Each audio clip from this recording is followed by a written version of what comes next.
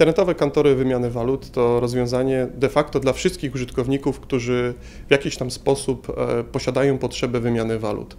E, to takie dość ogólne określenie, natomiast przechodząc do szczegółów, e, mam tu na myśli głównie osoby, no, te, które spłacają kredyty walutowe i myślę tutaj nie tylko o kredytach we frankach szwajcarskich, ale również o dolarach amerykańskich, czy spłacające kredyty w euro.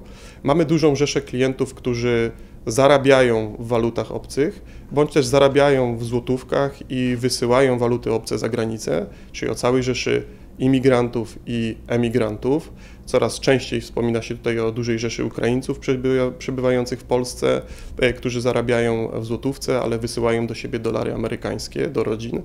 E, mówimy o dużej części emigracji, która znajduje się w Wielkiej Brytanii oraz głównie e, na terenie Niemiec.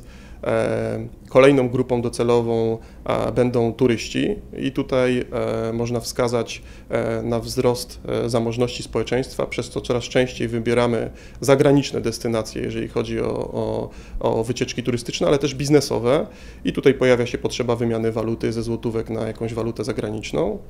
E, no i chyba największa rzesza to jednak e, mali i średni e, przedsiębiorcy, którzy wraz w związku ze swoim prowadzonym obrotem zagranicznym potrzebują wymieniać walutę, ale nie tylko wymieniać, ale również ją wysyłać za granicę, co część kantor, kantorów umożliwia. Nie tylko wymianę samej waluty, ale również wysłanie jej w atrakcyjnej cenie za granicę do kontrahentów. A jak duży jest to rynek? O jakiej skali mówimy? E, jeżeli chodzi o same kantory internetowe, e, to e, najwięksi liderzy kantorów, wśród kantorów internetowych chwalą się, że w ciągu roku obracają kwotami rzędu 8 do 10 miliardów złotych, jeżeli chodzi o wymianę waluty w internecie. Takich kantorów, liderów mamy de facto trzy marki. E, jeżeli chodzi o sam rynek wymiany e, walut w internecie, no to on ma bardzo duży potencjał. Z mojej, w mojej ocenie takie najważniejszy, największy wpływ ma na to dynamika eksportu i importu, która ma e, rok rocznie kilka procent wzrostu.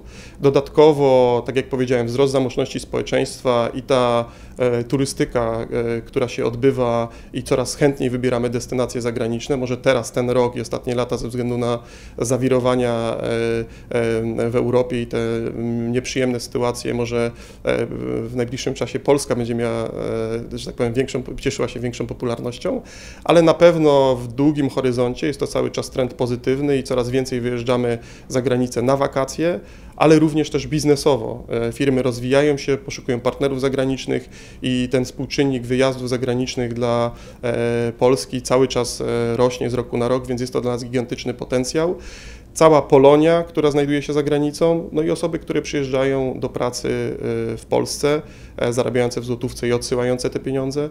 To cały czas y, dynamika pozytywna. E, sam rynek e, e-commerce, który rośnie, to, to też kolejny czynnik do, do wzrostu tego rynku, czyli po jednej stronie można by powiedzieć mamy wzrost obrotów w walutach i w złotówkach i potencjalna wymiana, a po drugiej stronie wzrost samego rynku e-commerce, który wydaje mi się, że największy boom jest jeszcze przed nami.